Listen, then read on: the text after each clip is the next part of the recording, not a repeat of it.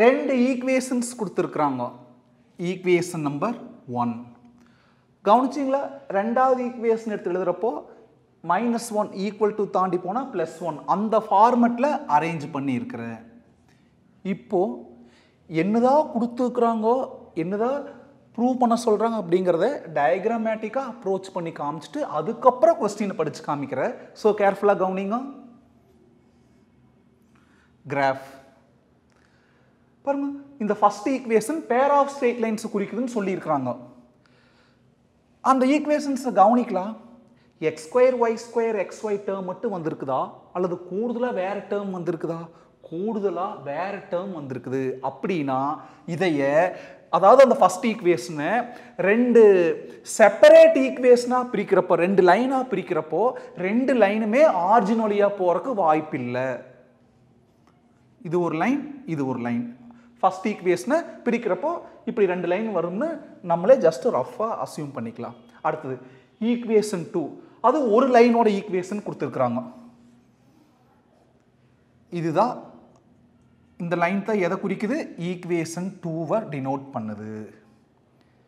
இப்போது என்ன ப்ரூஃப் பண்ண சொல்கிறாங்க அப்படின்னா அந்த பேர் ஆஃப் ஸ்ட்ரெயிட் லைன்ஸ் பிரித்தா வர ரெண்டு லைன் இந்த கொடுத்துக்கிற ஒரு லைன் சந்திச்சக்கூடிய பாயிண்ட் ஆஃப் இன்டர்செக்ஷன் எது? இந்த ரெண்டு ஆரிஜினிலிருந்து போகக்கூடிய ரெண்டு லைன் பாயிண்ட்ஸ் ஆஃப் இன்டர்செக்ஷன் வழியாக போதும் அந்த ரெண்டு பாயிண்ட்ஸ் ஆஃப் இன்டர்செக்ஷன் வழியாக பாருங்க. ஆரிஜின்லேருந்து ஒரு லைன் ஆரிஜின்லேருந்து இன்னொரு லைன் இந்த ரெண்டு லைனோடைய நேச்சர் என்னது? ஆர்ஜின் வழியாக போகணும் அதே சமயம் அந்த ரெண்டு ஈக்குவேஷனுடைய பாயிண்ட்ஸ் ஆஃப் இன்டர்செக்ஷன் வழியாக போகணும். அப்படி போச்சு அப்படின்னா அந்த ரெண்டு லைன் பிட்வீன் இருக்கிற ஆங்கிள் இந்த ஆங்கிள் 90 டிகிரி வருதுன்னு ப்ரூஃப் பண்ண சொல்கிறாங்கோ பாருங்க. இந்த ரெண்டு ஆங்கிள் இது எத்தனை டிகிரி இருக்கணுமாமா இது 90 டிகிரி இருக்கும்னு ப்ரூஃப் பண்ணணும். கொஸ்டின் படித்து காமிக்கிறேன். ப்ரூவ் தட் என்ன ப்ரூஃப் பண்ணணும்?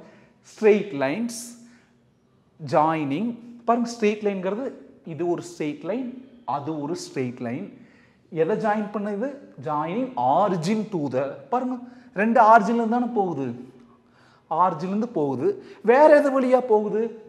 And point of intersection of these two lines பாருங்க இந்த முதல் பிரிக்கிறப்ப ரெண்டு லைன் இது ஒரு லைன் அதோட பாயிண்ட் ஆஃப் இன்டர்செக்ஷன் இதுதானோ?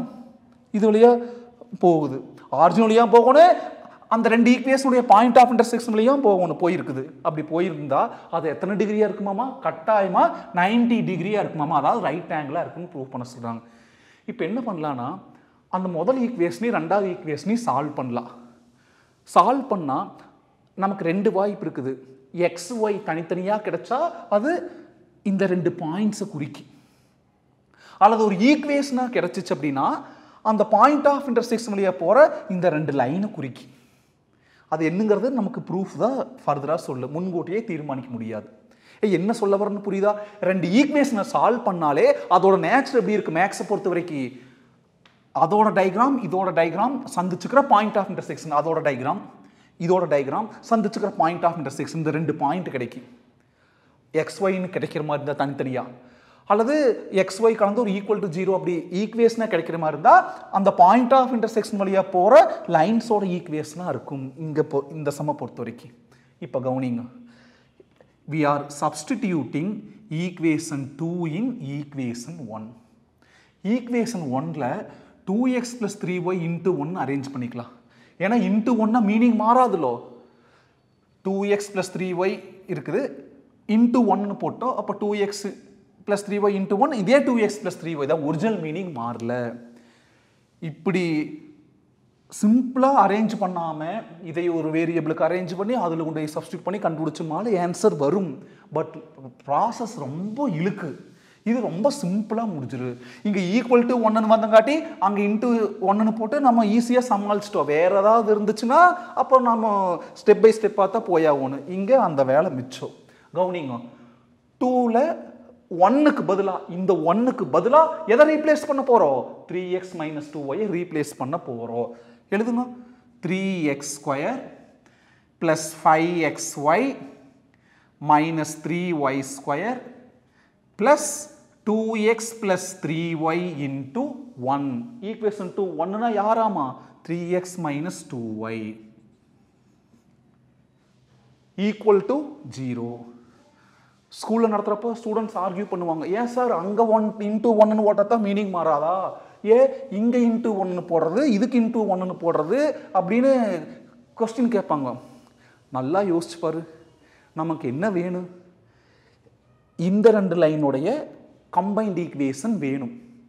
அந்த கம்பைன்ட் ஈக்குவேஷன் ரெண்டு லைன் அப்படிங்கிறப்போ அது வந்து டிகிரி டூ வர மாதிரி தான் இருக்குது நீங்கள் இங்கே பிராக்கெட் போட்டு இன்ட்டு ஒன்னு கூட ரீப்ளேஸ் பண்ணிட்டோம்னா அது மூணு லைன் நாலு லைனு கியூபிக் ஈக்குவேஷன் அப்படி போயிட்டு இருக்கு.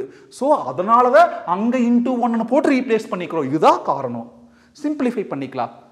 Three x square plus five x y minus three y square two எக்ஸை கொண்டு போய் அந்த ரெண்டு கூடையும் த்ரீ ஒய் கொண்டு போய் அந்த ரெண்டு கூடையும். Two x into three x plus six x square two x into minus two y minus four x y three y கொண்டு போங்க. Three into three nine plus nine x y plus into minus minus three y into two y three two sir six six y square equal to zero பாருங்க. Three x square plus six x square nine x square plus five x y minus four x y வெறும் X Y வெறும் x y plus nine x y ten x y மூணு X Y term இருக்குது. பாருங்க. இந்த மூணையும் simply பண்ணால் ten X Y அப்புறம் minus three y square minus six y square minus ten y square இப்போ நமக்கு ஒரு ஈக்குவேஷன் கிடைச்சிருச்சு. இது எதை குறிக்குது தெரியுமா? பாருங்க. எந்த ரெண்டு லைன் ஆர்ஜின் வழியாக போகுது அதே சமயம் பாயிண்ட் ஆஃப் இன்டர்செக்ஷன் வழியாக போகுதோ அந்த லைனை குறிக்குது. இப்போ தான் இந்த லைனுக்கு ஈக்குவேஷன் கண்டுபிடிச்சிக்கிறோம். Pair of லைன்ஸ்க்கு equation கண்டுபிடிச்சிக்கிறோம். இது 90 டிகிரி இனிமேல் ப்ரூவ் பண்ண போகிறோம் உனக்கு உடனே டவுட் வரும் அது எப்படி சார் ஆர்ஜின் வழியாக போகுதுன்னு சொன்னீங்க? X square y square x y term மட்டும் வந்தால் அது எது வழியாக போகிறது அதை ரெண்டு லைனாக பிரிக்கிறப்போ ஆர்ஜின் வழியாக போகிறது அப்போது அதை வச்சு சொன்னேன். ஆர்ஜின் வழியாக போகுது. ஓகே சார் எதை வச்சு சார் பாயிண்ட் ஆஃப் இன்டர்செக்ஷன் வழியாக போகுதுன்னு சொன்னீங்க. பாருங்கள் இதோட ஈக்குவேஷன் இதோட ஈக்குவேஷனை தான் சால்வ் பண்ணிக்கிறேன். எந்த ஈக்குவேஷன் சால்வ் பண்ணுறோமோ அதோட பாயிண்ட் ஆஃப் இன்டர்செக்ஷன் வழியே தான் போகும் அதை வச்சு பாயிண்ட் ஆஃப் இன்டர்செக்ஷன் வழியே போகுதுன்னு சொல்லியிருக்கிறேன் அவன் ஈக்குவேஷனாக கேட்குறான் அல்ல. கூடுதலாக என்ன கேட்குறாங்கோ இந்த ரெண்டு லைன் நடுவில் இருக்கிற ஆங்கிள் 90 டிகிரின்னு ப்ரூவ் பண்ண சொல்கிறாங்க பேரலல் அப்படின்னா என்ன condition H square minus AB equal to zero perpendicular என்ன condition A plus B equal to zero ஏங்கிறது எக்ஸ்கோயோட கோ கோஎஃபிசியன்ட் வேணால் கம்பேர் பண்ணிக்கலாமா? கம்பேர் வித் எது கூட கம்பேர் பண்ணுறோம் a x square plus two h x y plus b y square equal to zero x ஸ்கொயரோட coefficient ஏ ஏ அடுத்தது பிங்கிறது ஒய் ஸ்கொயரோட கோஎஃபிசியன்ட் ஒய் ஸ்கொயரோட கோஎஃபிஷியன்ட் பாருங்கள் minus three y square minus six y square minus nine Y square பிங்கிறது minus nine ஏ ரைட்டா simplification பாருங்கள் minus three Y square minus six Y square எவ்வளோ? மைனஸ் நைன் ஒய் ஸ்கொயர் பிங்கிறது minus nine perpendicular ரெண்டையும் add பண்ணால் zero வரும் ஒன்று ஏங்கிறது நைன் ப்ளஸ் பிங்கிறது minus nine plus into minus nine minus nine அப்போ நைன் மைனஸ் நைன் ஜீரோ அப்போ நமக்கு என்ன வந்துருச்சு? ஏ ப்ளஸ் பி வந்து ஜீரோ வந்துருச்சு. ஹென்ஸ் ஹென்ஸ்னு போட்டு இங்கே பாருங்க இதிலிருந்து இது வரைக்கும் அப்படியே தூக்கி இங்கே காப்பி பண்ணுங்க வேலை முடிஞ்சது hence straight lines joining the origin to the point of intersection of these two lines are at right angles